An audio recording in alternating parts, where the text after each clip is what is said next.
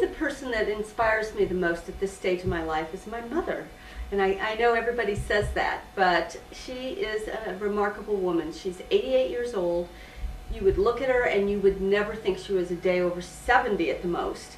She is vibrant, happy, beautiful, and she has bounced back in her life so many times. It's just amazing. When my father died, you know, it was really hard on her. We'd moved, they'd moved up to the Bay Area and all her friends were in LA and you know, she just made decisions. I'm going to change things. I'm going to do what I need to do.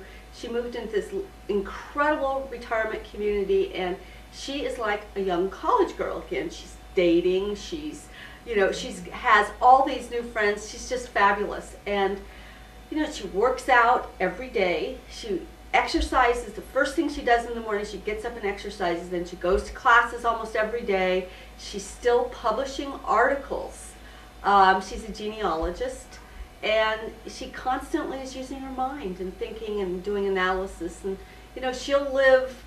The doctor kiddingly says she's going to live to 125. Her mother lived to 102, so you know, maybe.